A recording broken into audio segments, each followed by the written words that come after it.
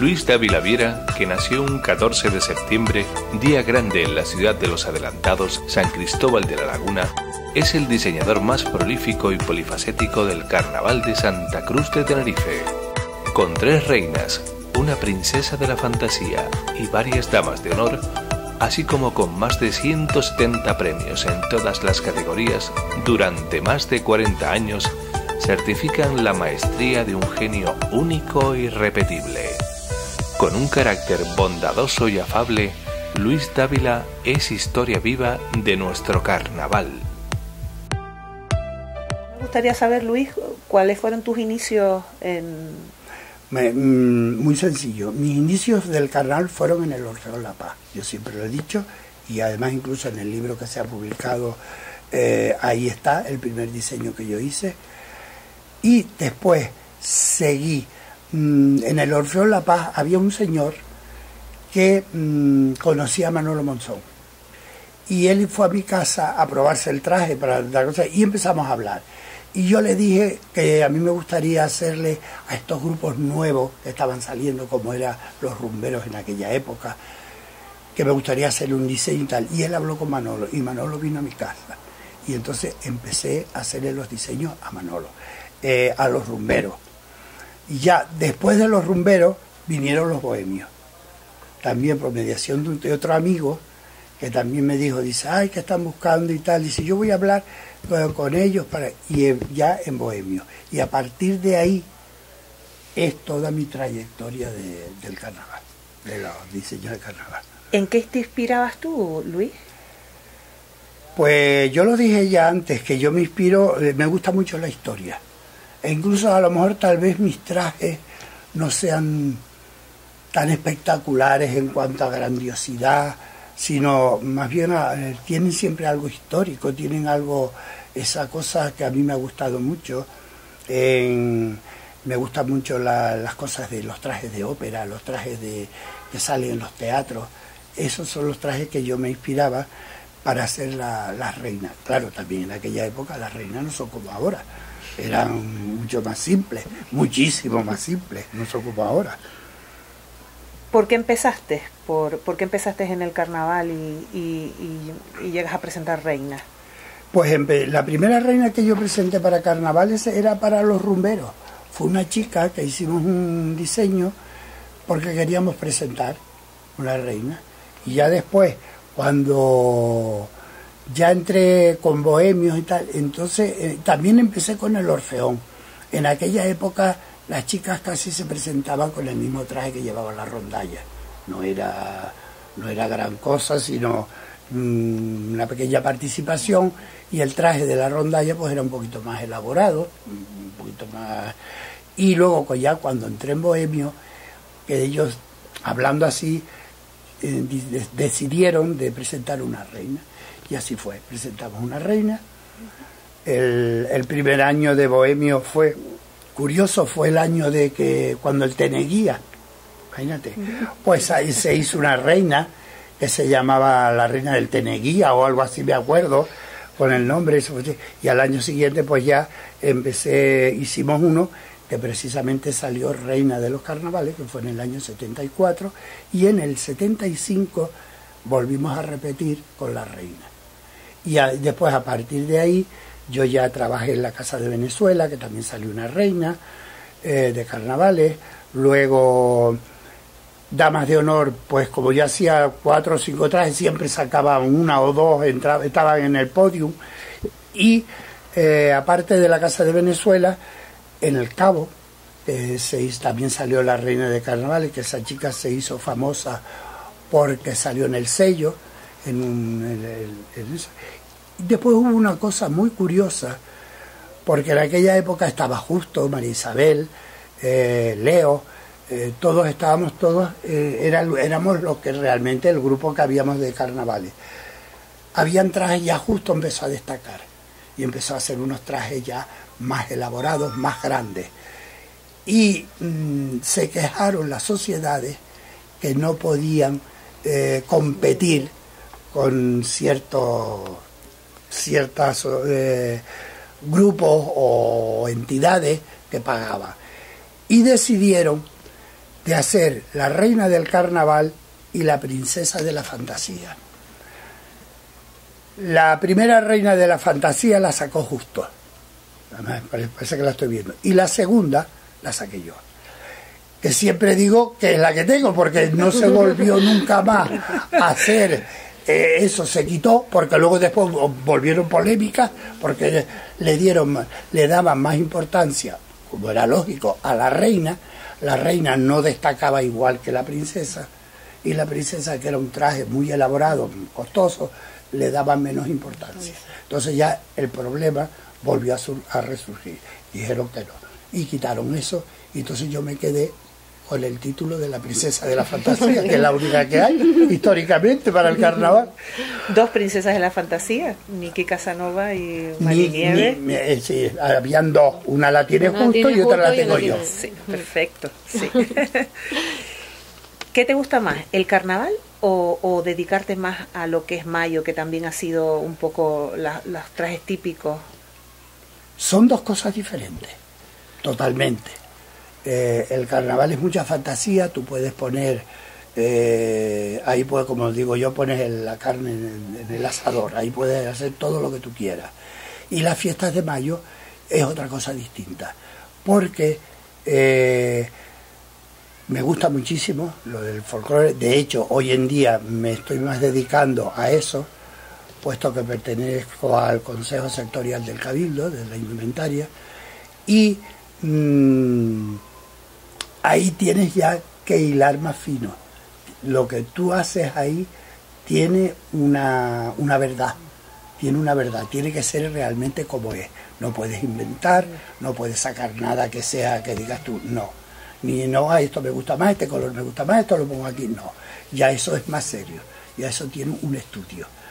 El, carnaval no, el carnaval es fantasía. De hecho, cuando dice tú la palabra carnaval es fantasía, alegría, imaginación, colorido, todo eso. Y ahí puedes poner todo lo que tú quieras las capacidades que tenga cada uno. y aparte de la capacidad, la eso económica, eh, hay muchas cosas también. En cambio, en, las fiestas de mayo eso es distinto. Ahí no entra, eso no entra ahí. Es otra cosa totalmente distinta. Premios que has recibido, muchísimos, ¿no?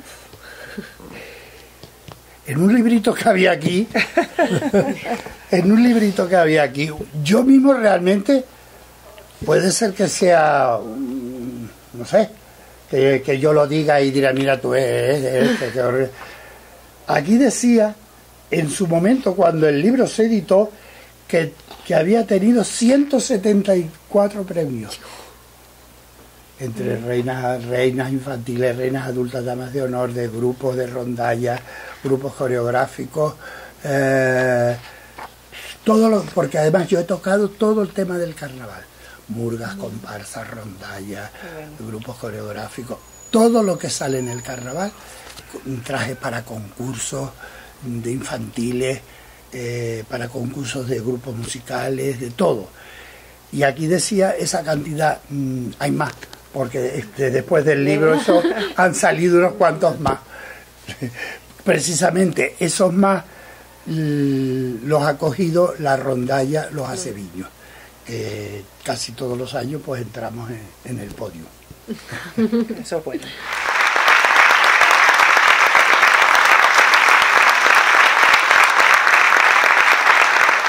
si fuese un año dedicado a los piratas, yo estaría estupendo ahora. Pero como no lo es, desde los años 50, pues tengo que mantener. No se preocupen que no es nada, no es nada grave. Muchísimas gracias a todos.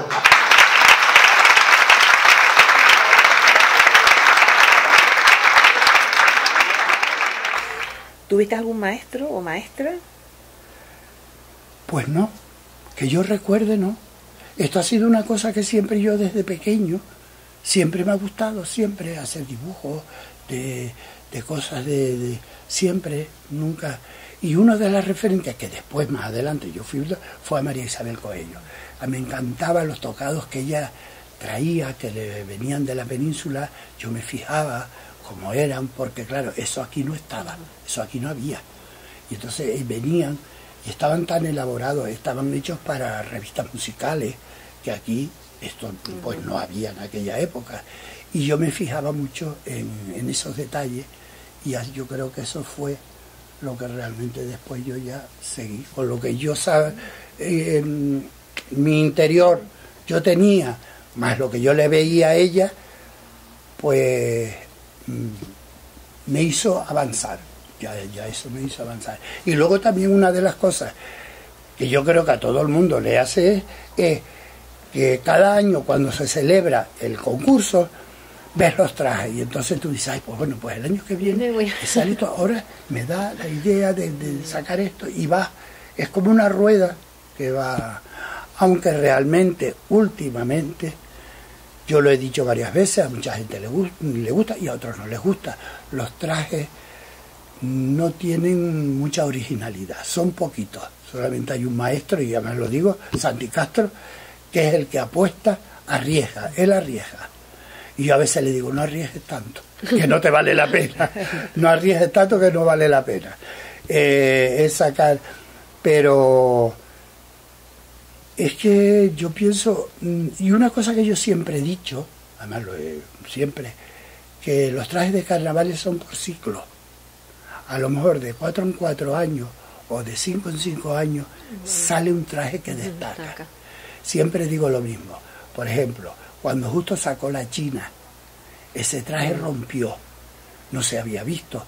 Después pasó un tiempo, después sacó Leo Tajaraste, que volvió otra vez. Oh, y así han habido una serie de esos y últimamente no. Últimamente vemos la gala y sí, precioso, maravilloso todo, porque yo le, a todos ellos les doy mi reconocimiento porque lo sé y incluso ellos trabajan el doble de lo que yo trabajé porque yo esos trajes no los, no los hago y ellos pero luego los ves y te quedas en la duda y dices pues no sé cuál va a salir no sé cuál va a salir y, ya, y cuando hay un traje de esos que enseguida tú lo ves dices esto ¿entiendes? Hay mucha diferencia entre los trajes que se hacían antaño a los que se hacen ahora. Sí, sí. Nada que ver. Nada que ver, nada, pero nada, nada, nada, nada, nada. Yo lo he dicho ya un montón de veces, yo mis trajes los metía en un taxi para trasladarlos de un lado a otro. Imagínate tú lo que era el traje. El traje no, prácticamente pues era poca cosa. Se metían en un taxi y estupendamente bien iban de un lado para otro. E incluso era bueno porque la chica iba con el traje mm. puesto a todas las recepciones. Hoy en día no.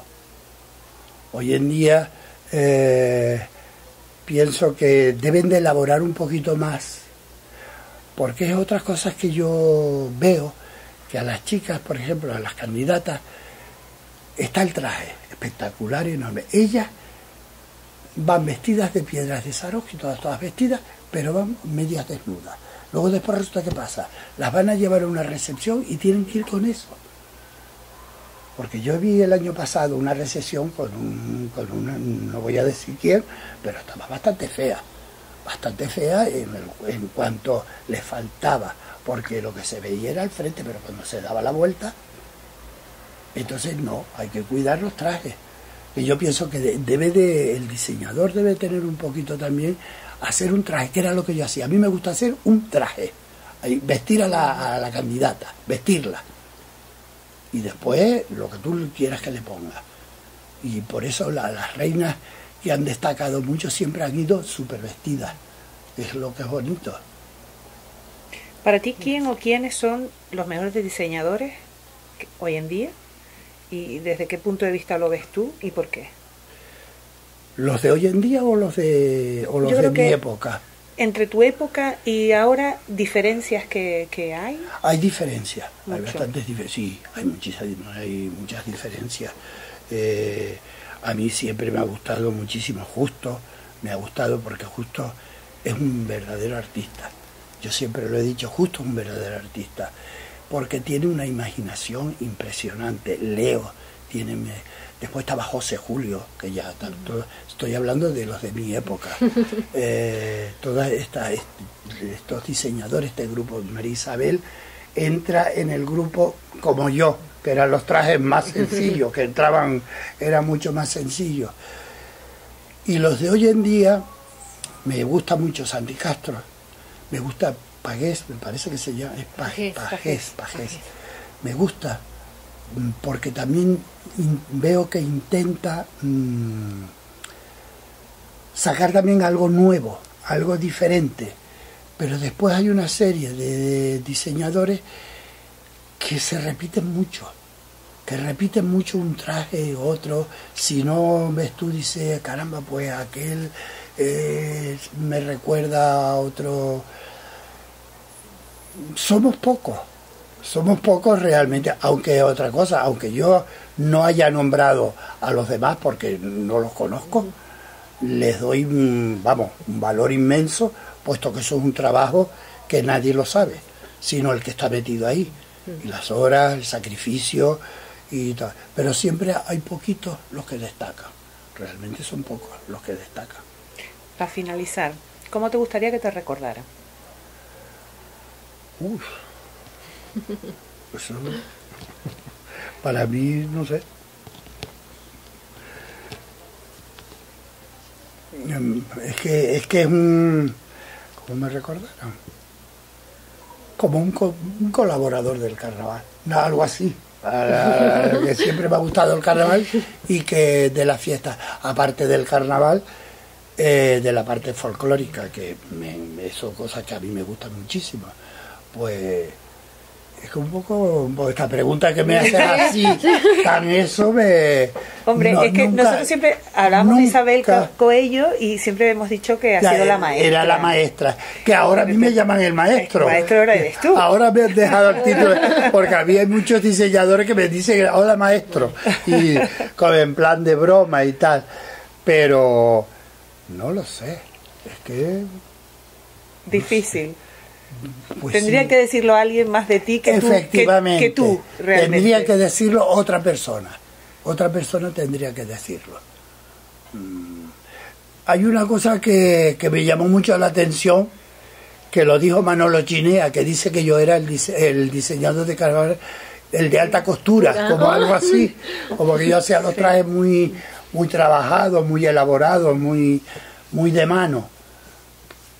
Eso fue una vez que lo dijo él y me, hizo muchísimas gracias. Y es verdad, ha sido siempre. Siempre, yo he sido, sí, porque claro, en aquella época no había lo que hay ahora.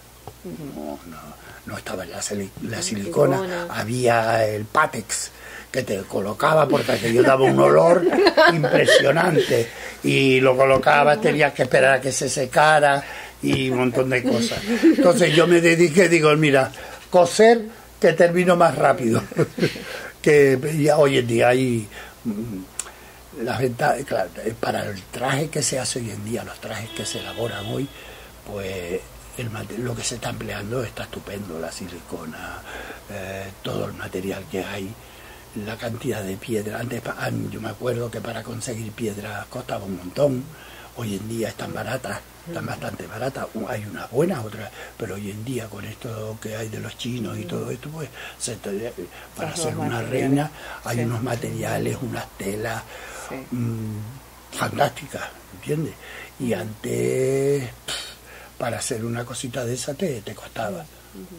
Porque claro, también tendrías que, yo jugaba con los presupuestos que tenía, no tenía grandes presupuestos, no tenía sino pocos.